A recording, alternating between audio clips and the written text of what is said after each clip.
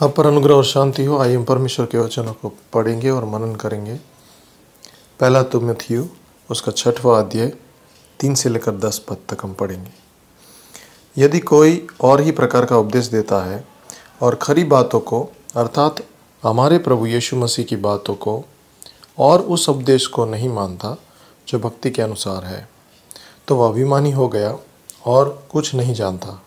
वरन उसे विवाद और शब्दों पर तर्क करने का रोग है, जिससे डा और झगड़े और निंदा की बातें और बुरे बुरे संदेह।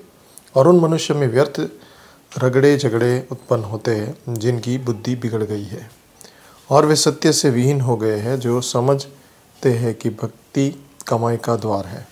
पर संतोष सहित भक्ति बड़ी कमाई है, क्योंकि न हम जगत में कुछ लाए हैं और न कुछ ले जा सकते हैं। यदि हमारे पास खाने और पहनने को है तो इन्हीं पर संतोष करना चाहिए। पर जो धनी होना चाहते हैं, वे ऐसी परीक्षा और फंदों और बहुत सी व्यर्थ और हानिकारक लालसाओं में फंसते हैं, जो मनुष्य की बिगाड़ देती है और विनाश के समुद्र में डुबा देती है। क्योंकि रुपये का लोभ सब प्रकार की बुराइयों की जड़ है जिसे प्राप्त करने का प्रयत्न करते हुए बहुतों ने विश्वास से भटक कर अपने आप को नाना प्रकार के दुखों से छलनी बना लिया है। तो इस वचनों में हम पॉलुस का जो शिक्षा इसमें है, उसमें देख रहे हैं। दो बातें हैं कि एक तो जो उपदेश, जो गलत प्रकार का उपदेश वचनों का इस्तेमाल करके भी कोई लोग करते हैं, जो परमेश्वर की ओर से नहीं होता है, अपने मन की ही सोची समझी बातें होती है। उसके बारे में और दूसरा, हमारा व्यक्तिगत जीवन में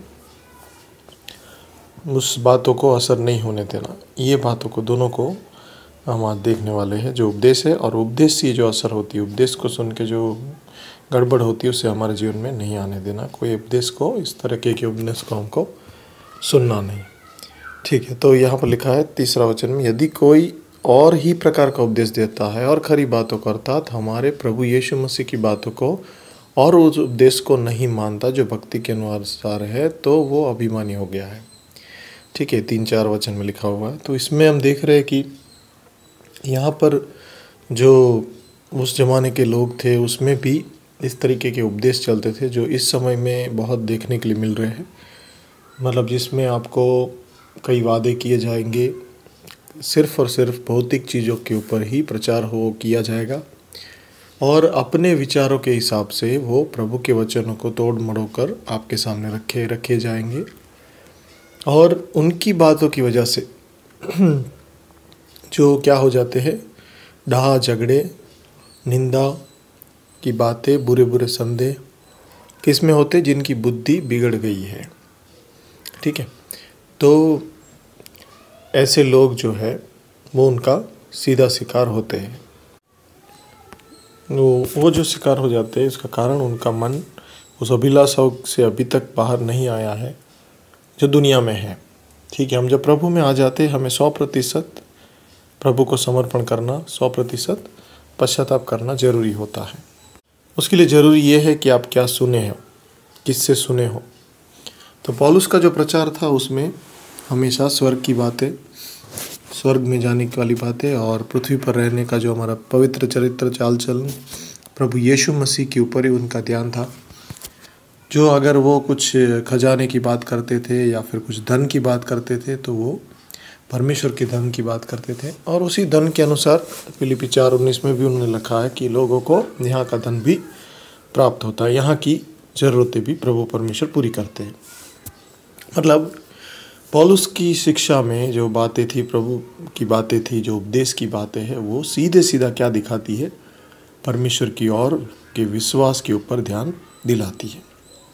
मगर जिस प्रकार के उपदेश इन दिनों में भी चल रहे, उस दिनों में भी चल रहे थे, जिसमें परमेश्वर को छोड़ कई दूसरी बातों पर ध्यान दिया जाता है। परमेश्वर का खाली इस्तेमाल हो रहा है, उनका नाम इस्तेमाल होता है, उनकी बातें इस्तेमाल होती है। मगर उनका अगर आप ज्ञान से, प्रभु के आत्मा से अगर उसको जांचोगे तो पता चलेगा उनका ध्यान प्रभु की ओर नहीं है। ना ही उनमें स्वर की बातें होती है, ना ही उनमें न्याय के दिन की बात होती है, ना ही परमेश्वर के लिए तैयार होने की बात होती है, ना ही पाप से मन फिराने की बात होती है। ठीक है, वो अपने आप को घमंडी हो जाते हैं, इसमें लिखा है तो वो लोग ऐसे भी बोलते हैं अभी हम बहुत आगे बढ़ चुके हैं हम। इसमें बहुत अभी हम पीछे वाली बातों को नहीं देखना है, अभी ये चीज़ें हमारे लिए बड़ी बड़ी चीज़ें हैं। मगर उनके प्रचारों में ज़्यादातर बातें कहाँ अटकेगी? माल, मिलकत, पैसा और मिलकत जो बोलते वो, ज़मीनें, इन सभी के ऊपर ही उनका ज़्यादा ध्यान रहेगा। ठीक है। पैसा होना, ज़मीन होना, माल, मिलकत होना, ये गलत बात नहीं है। पॉलुस के पास भी उस समय में बहुत पैसे थे। है ना? समझ समझिए कि पॉलुस यहाँ लिखा है कि संतोष सहित भक्ति बड़ी कमाई है, खाना मिल रहा है पहने का मिल रहा है तो इस पर संतोष रहना। पॉलुस संतोष रहता था खाना पीना के बारे में, पहनने के बारे में, एक सिंप्लिसिटी बोलते हैं उसको, सादा जीवन, है ना? जो भक्तिभाव का जीवन जीने वाला में ऑटोमेटिक ये गुण दिखता ही है। उनको दुनिया के ऊपर ध्यान नहीं रहेगा। जैसे अयुब के वचन में आप देखोगे तो अयुब, जहाँ पर अयुब की किताब है, वहाँ पर आप बाईसवा अध्याय निकालोगे। उसके अंदर अगर आप चौबीसवा वचन में लिखा तो अपनी अनमोल वस्तुओं को धूल पर और अपनी वरन ओपीर का कुंदन भी नालों के पत्थरों में डाल दे। तब सर्वशक्तिमान आप तेरी अनमोल वस्तु और तेरे लिए चमकीली चांदी होगा। तब तू सर्वशक्तिमान से सुख पाएगा और परमेश्वर की ओर से अपना मुँह बेट के उठा सकेगा। ठीक है, चौबीस से छब्बीस में लिखा तो जो व्यक्ति सही में प्रभु की भक्ति भाव में जी रहा है, जो सही में भक्ति कर रहा है, उसका असर यही होता है संतोष। मतलब भौतिक चीज़ें, दुनिया की जो पैसा है ज़मीनें हैं खजाने हैं, जो भी मिलकत है, जो भी चीज़ें हैं इन सब के ऊपर उसका ध्यान ज़्यादा रहेगा नहीं। ज़्यादा क्या? पूरा ही नहीं रहेगा, मैं तो कह रहा हूँ। पूरे पूरा उसका ध्यान नहीं रह पाएगा, क्योंकि उसको प्रभु ही आनंद दे पाएँगे। परमेश्वर के आनंद में हमेशा मगन रहेगा। फिलिपी चार चार में देखे तो पॉलुस जिस समय में जेल में था, तब क्या लिख रहा है? कि प्रभु में हमेशा आनंदित रहो, है ना? तो लोग क्यों आज मिलकत के पीछे पड़ते हैं? क्यों आलिशान चीज़ों की ख्वाहिश रखते हैं या फिर अमीरी अमीर बनना चाहते हैं क्योंकि उनको आनंदित ज़िंदगी जीना है। ठीक है, अमीरी होना गलत नहीं है। पैसा रखना, पैसे को संभालना, ठीक है, ये बात सही है, मगर उस पर ध्यान, यहाँ पर लिखा है, जो शब्द यहाँ पर इस्तेमाल किया है, उनका ध्यान जो है पूरे पूरा कहाँ पर है? दुनिया की बातों के ऊपर। ठीक है मतलब कि दुनिया में से मिलते जो पैसे हैं, उसका जो लाभ है उन पर उनका ध्यान रहता है। यहाँ हम जहाँ देख रहे हैं, पहला तिमोथी छः का नौ में आप पढ़ सकते हो, उसमें लिखा है, जो धनी होना चाहते हैं मतलब वो ये मन के अंदर ठान के रखा है कि मेरा ज़िंदगी का मकसद यही है, मैं धनी होना है, मैं बिज़नेस खोल रहा हूँ कि मेरे पास बड़े बड़े ज़मीन होना है, मेरे पास कार होनी है, गाड़ी होनी है, बंगला होना है। ठीक है, कई लोग स्वर्ग राज्य के लिए सोचते हैं, अच्छी बात है, ज़मीनें अभी ज़रूरत है कलिशाओं के लिए, प्रभु के लोगों के लिए है ना, प्रभु के राज्य के लिए ज़रूरत है। वो होना चाहिए। मगर कई लोग शुरुआत ऐसे करते हैं, मगर उनके मन में धीरे धीरे धीरे ये गलत गड़बड़ ध्यान नहीं रखने की वजह से अपने मन की कमर बांधनी नहीं, बांधता नहीं है ठीक से। दुनिया के अंदर ज़्यादा टाइम देने की वजह से उनका भी ध्यान उसमें कई बार चला जाता है।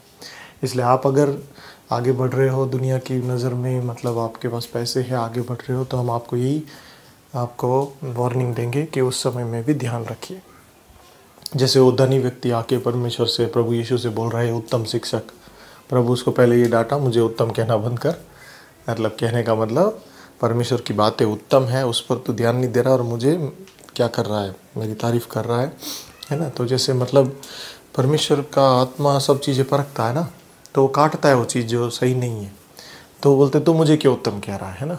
तो फिर उसको पूछा वो पूछ रहे मुझे अनंत जीवन पाने के लिए क्या करो? तो प्रभु उस, उसको सामने सवाल करते हैं, ठीक है क्या क्या तुम आज्ञा पालन, क्या, कौन सी आज्ञा जानते हो, पालन करते तो बोलते हैं तो मैं, नहीं, पहले बोल रहे ये आज्ञा है, पालन करो तो मिलेगा। तो बोल रहे हैं हाँ वो तो मैं बचपन से कर रहा हूँ। फिर प्रभु उसको, उसमें लाना चाहते थे कि उसका जो घमंड है, अभिमानी हो गया, है ना? घम, पैसे की ओर जिसका ध्यान रहता है उसमें घमंड आ ही जाता। ठीक है तो घमंड को प्रभु पिघाल रहे हैं और कह रहे हैं, देखो, तुम्हारा तुम में एक चीज़ में कमी है, क्या है? कि तुम अपना सब कुछ जो है वो लेकर, छोड़कर मेरे पीछे हो जाओ, है ना? तो वो नहीं कर पाया।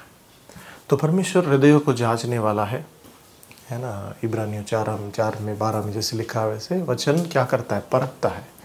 तो हम भी इन दिनों में ध्यान देना है। मेरे अंदर कहीं ये लालच तो नहीं आ गई दुनिया की?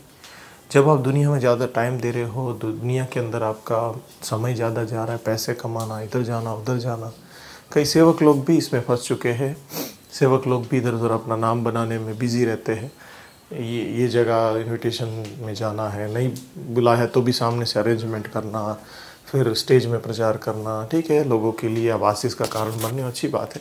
पर एक तरफ़ में आपके दिल की गहराई में जाँच के देखना है, आप भी कहीं कहीं ना कहीं उस पैसों के घमंड में, उस अभिलाषा में, उस बातों में कहीं घुस तो नहीं रहे हैं।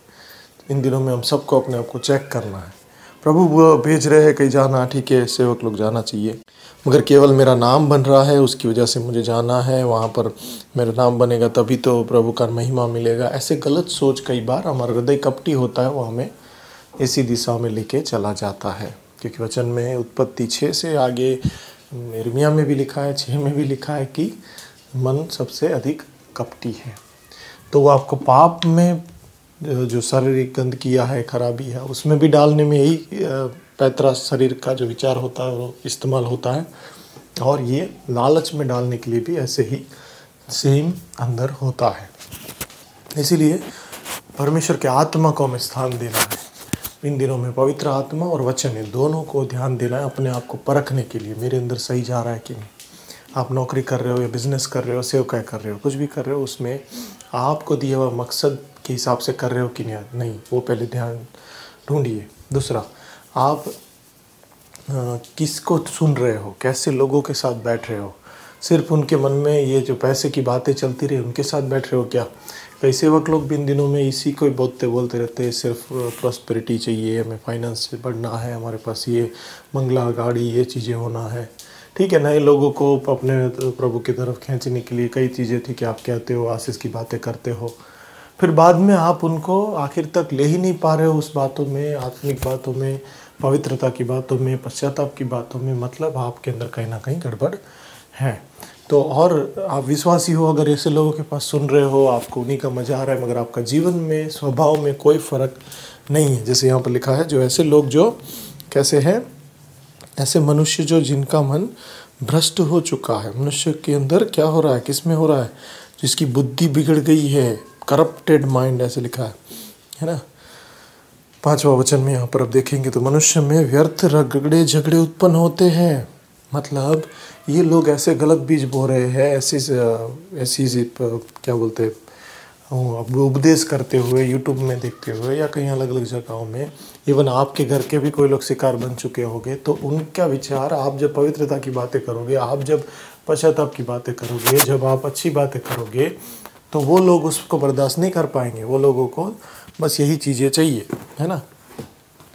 कि आप उनकी तारीफ़ करो, आप उनके, ठीक है, प्रभु में जो है, कई बार उसी का भी इस्तेमाल कर लेते हैं, प्रभु में हम क्या है, प्रभु के संतान हैं बेटे बेटियाँ उसका भी गलत इस्तेमाल करते हैं, जैसे मैं प्रभु का बेटा हूँ, है ना? मैं परमेश्वर का राजकुमार हूँ, इसीलिए मेरे पास ऐसे गाड़ी होना चाहिए बेंस गाड़ी होना चाहिए स्कॉडा होना चाहिए, मैं एरोप्लेन में जाना चाहिए, है ना? ये सब चीज़ें सिर्फ़ फिर तो क्यों आप सिर्फ़ उसी पर बात कर रहे हो? हाँ ठीक है, उस पर भी कीजिए, प्रभु का राज्य के लिए ज़रूरत है सब चीज़ों का।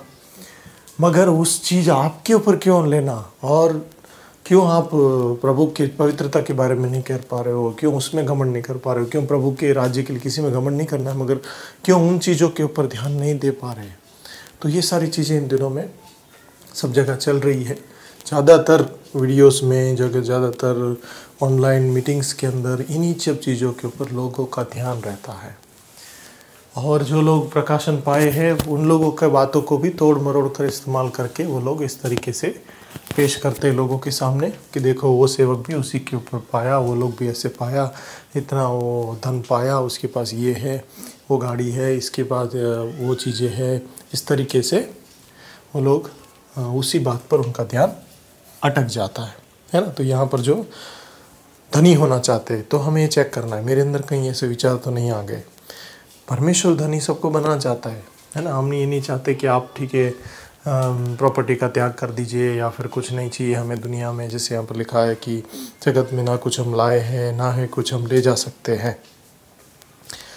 ये मतलब ये बात सौ प्रतिशत सही है। हम कुछ लाए नहीं नहीं ले जा सकते। मतलब हमारा ध्यान यहाँ नहीं रखना, ये वो कहना चाहता है। दुनिया की जो बातें हैं, दुनिया के अंदर जो जो चीज़ें ज़रूरत की है, वो तो आपके पास होनी चाहिए। इसलिए बोलते खाना मिलना चाहिए, पहनने के लिए मिल रहा चाहिए। ये भी कह रहे हैं ना? इन्हीं से संतोष करना चाहिए, ठीक है? इसका बस ये नहीं कि चलो आप भूखे रह जाए, ऐसे ही पढ़े रहे, भिखारी के जैसे, ऐसे प्रभु नहीं सिखा रहे है ना? परमेश्वर का आत्मा कभी ऐसे अन्याय नहीं करता है। प्रभु आपको ज़रूरत की सारी चीज़ें देगा। प्रभु यीशु ने गारंटी दिया है, मत्ती छः में, क्या लिखा है कि आप किसी की बात की चिंता ना करो। तुम्हारा मूल्य उस पक्षियों से ज़्यादा है जो ना बोतते हैं, ना काटते हैं, फिर ना ही खलियान में इकट्ठा करते फिर भी तुम्हारा पिता उन्हें खिलाता है। और जो फूलों के विषय में लिखा है, जो एक दिन, दो दिन में या तीन दिन में मुलझा जाएँगे, है ना? सूख जाएँगे। उनको इतना अच्छा खूबसूरती दे रहा है तो तुम्हें क्यों नहीं पहनाएगा? है ना? तो परमेश्वर हमारे लिए अच्छे से अच्छा बात चीज़ें रखा है। ऐसा नहीं है कि चलो इसमें लिखा है, इसीलिए हम फटीचर कपड़ा पहनेंगे बस ऐसे ही जीते रहेंगे, प्रभु के लिए इंतज़ार करते रहेंगे, है ना? ये बात नहीं है यहाँ पर। पॉलुस, में शुरू में आपको बात बोलते बोलते अटक गया कि पॉलुस के पास पैसे थे, पॉलुस अच्छी जगह में रहता था, सही जगह में रहता था, जाता था, है ना? ही वॉज़ अ मैन शुरू में वो मैन भी था। तो इस, ये बात, वो ये नहीं समझाना चाह रहा है कि ये सब चीज़ें नहीं रखना है। जैसे वहाँ वो फेलिक्स करके था, वो भी उसे क्या करना चाहता था? पैसे की लालच से उसके पास आके बात करना चाहता था ना? ऐसे प्रेरितों के काम मिल, हम देखते हैं। ठीक है? तो मेरा आपको यही, आपको सुझाव है, और हम सब लोग इस वचन से यही सीखना चाहते हैं कि पौलुस के जैसा मन, यीशु मसीह के जैसा मन, है ना? यीशु प्रभु के पास भी ये बहुत सारे सेवक जाकर उनकी सेवकाई कर, करते थे लोग, है ना? बहनें आती थी, कई ऐसे ज़्यादा पैसे वाले लोग भी थे, पौलुस के पास भी ऐसे लोग थे, वहाँ पर जब एफ़ में हल्ला हो रहा था आरती में इसके जो पूजक थे आके परेशान कर रहे थे। उस समय में भी लिखा है, उस जगह में जो नगर सेवक थे, जो मतलब वहाँ के मंत्री लोग उन वो पॉलुस के दोस्त थे तो सोचिए इतना लेवल का वो व्यक्ति था कि वहाँ तक प्रभु उसको पहुँचाया था। आगे तक जाना फ़ेमस होना आ, मतलब पैसे ज़्यादा होना ठीक है? ये आपके मेरे हाथ की बात नहीं है। प्रभु उठाता है। प्रभु आके लेके जाता है। ऐसी हालत में ऐसी उच्च स्थान में मतलब जिसको दुनिया बड़ा जानती है ऐसे पदों पर प्रभु लेके जाएगा। वो इसका, उसका एक काम है, प्रभु करता है। कभी अपने सेवकों को निराश नहीं होने देता, मगर सेवकों का ध्यान अगर उसी चीज़ों पर रहेगा तो परमेश्वर निराश हो जाते, परमेश्वर दुखी हो जाते। परमेश्वर कभी निराश तो नहीं होते, मगर प्रभु दुखी हो जाते। ठीक है, क्योंकि प्रभु पास तो कई, प्रभु परमेश्वर पिता के पास बहुत सारे रास्ते हैं आपको सही करने के लिए। निराश तो नहीं होगे। मगर मेरा कहने का मतलब परमेश्वर को उस चीज़ों में इंटरेस्ट नहीं है, जिसमें आप ध्यान देते हम और आप सब लोग, कहीं ना कहीं दुनिया में ऐसे नहीं बोल सकते, आपने लालच नहीं किया, मैंने लालच नहीं किया। कोई नहीं, कोई चीज़ों में इवन अभी भी कोई चीज़ ऐसी होगी जिसमें हम लालच से देख रहे हैं, है ना, हमारी आँखों की हिसाब से, हमारे मन की सोच के हिसाब से। तो उसमें हमें क्या करना है? अपने आप को संतोषी रखना है, इस वचन से ये ध्यान देना है। भले आपके पास शायद बहुत करोड़ों में मिलकर आ जाए पैसे, प्रभु देंगे, नहीं देंगे, ऐसा नहीं, आप आप प्रभु के रास्ते पर सीधा चलते रहोगे, परमेश्वर के हिसाब से चलते रहोगे, पवित्रता में, प्रभु में आगे बढ़ते रहोगे, आपका छोटा सा छोटा धंधा भी आशीष हो जाएगा, ये तो गारंटी है। ठीक है? और आप परमेश्वर के लोगों में आ गए इब्राहिम की संतान में आ गए तो आशीष तो मिलना ही है। कई लोग क्या सोचते हैं? ये आशीष मिलने के बाद बस मुझे उसी को और जागृता बढ़ाना है, और बढ़ाना है। तो बढ़ता तो है, मगर उनके बीच में उनको कई गलत काम भी करने पड़ते हैं, दो नंबर करने पड़ते हैं। फिर बाद में लोगों के सामने आके गवाही देगा प्रभु का धन्यवाद, मुझे ये अच्छा मिला है, ऐसे मिला है। है ना? तो परमेश्वर इसी चाहता नहीं है। प्रभु क्या चाहता है? वो खुद आपको बढ़ाएगा, वो आपको आशीषित करेगा। इब्राहिम को जैसे किया ईसाक को किया, है ना? वो लोग हमेशा यही गवाही दिया, परमेश्वर हमारे लिए। और खास ये वचन हमें ध्यान देना चाहिए, जो इब्रानियों में ग्यारह अध्याय में पाया जाता है, जहाँ पर इब्राहिम के विषय में, उनके विषय में एक अच्छी गवाही दी गई है। तेरहवा वचन में आप देखेंगे तो ये सब विश्वास ही की दशा में मरे और उन्होंने प्रतिज्ञा की वस्तु नहीं पाई, पर उन्हें दूर से देखकर आनंदित हुए और मान लिया कि हम पृथ्वी पर परदेसी और बाहरी हैं। जो ऐसी बातें कहते हैं, वे प्रकट करते हैं कि स्वदेश की खोज में है। तो दुनिया में हमें खोना नहीं है, पर स्वदेश की खोज में रहना है। ये आखिर में, मैं आपको कहना चाहता हूँ, दुनिया की खोज में दुनिया के अंदर क्या मिलेगा, आगे ये पद मिलेगा, इतने पैसे मिलेंगे, सेव, सेवक है तो ये नहीं सोचना है, हमें आगे मिलेगा, आगे बढ़ेंगे, इतना आगे हमारा नाम होगा। मन में विचार तो आ जाएँगे, मगर उस विचार को खाना नहीं खिलाना है। या तो फिर जो बिज़नेस कर रहा है, मेरा इतना बड़ा बिज़नेस फ्लरिश होगा, इतना होगा तो तभी प्रभु का सही रहेगा, तभी प्रभु का महिमा होगा, ये भी हम मन में बिठा कर नहीं रखना है। बस विश्वास रखना है, प्रभु अपने राज्य के लिए ज़रूर करेगा, परमेश्वर के हिसाब से होगा, उसके समय में सुंदर होगा, मगर मुझे अभी प्रभु के लिए जीना है। आपका नौकरी भी हो, कुछ भी हो, उन सभी में हमें प्रभु की ओर ध्यान नगर, नज़र नज़र रखते हुए, परमेश्वर के राज्य के लिए, उसकी इच्छा को पूरी करने के लिए, उनकी पवित्रता में चलते रहना है।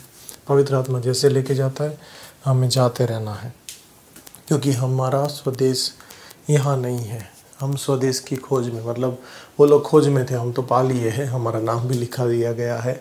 हम लोग स्वर्ग के हो चुके हैं, हम स्वर्ग के बारे में जानते हैं, पर हमें देखा भले नहीं है, मगर हम आशा रखते हैं। उस आशा की ओर हमें ध्यान देना, उस पर हमें यकीन रखना है, उस पर हमें ध्यान देना, यस, मेरा परमेश्वर मुझे वहाँ तक लेके जाएगा। वो मुझे यहाँ पर इस जगह पर अटकने के लिए नहीं बुलाया है है ना? तो इसलिए आखिर में ये भी लिखा है कि रुपयों का जो क्या है, लोभ, पैसों का कम लोभ कहाँ क्या करता है, सब प्रकार के पापों का जड़ है और अलग अलग प्रकार के पाप उनमें घुस जाते हैं, है ना? और एक ऐसे ऐसे तरह का वो उसमें हमको फंसा देते हैं, जिसमें निकलने के लिए लोगों को मुश्किल हो जाता है। कई बार और समुद्र के जैसा, जैसे विनाश का समुद्र लिखा है, उसमें डुबा देता है, इंसान को बिगाड़ डालता है ना? तो क्योंकि जैसे पैसा के ध्यान रखते रखते रखते फिर शहरत मिला, घमंड आया। घमंड आने के बाद लोगों के नज़रों में आगे बढ़ गए। एक तरह का उनका एक रू, एक बड़ा सा एक सोना चांदी से भरा हुआ रूम के अंदर जैसे इंसान पैक हो जाता है, उनको वही दिखेगा। सब जगह उसी चीज़ पर ध्यान उनका रहेगा। फिर उसके अंदर भले अच्छी अच्छी चीज़ें दुनिया की मिल मिल जाएगी अच्छी तो नहीं बोल सकते, मगर लोगों को अच्छी लगने वाली चीज़ें, शरीर को अच्छी लगने वाली चीज़ें आती रहेगी आती रहेगी। जैसे समुद्र में अलग अलग मछलियाँ, ये सब चीज़ें जो है, दिखती रहेगी, वैसे ही उनके अंदर वो उस समुद्र से फिर बाहर आने का मन नहीं हो पाएगा उनका। तो दुनिया के अंदर ही फंसते रहेंगे, ऐसे कई सेवक लोग, कई विश्वासी लोग भी इन दिनों में फंस रहे हैं और कई फंस के मर भी चुके हैं, अगर हमें ध्यान देना है। तो प्रभु इन वचनों के द्वारा हमारे साथ बात करें। 阿明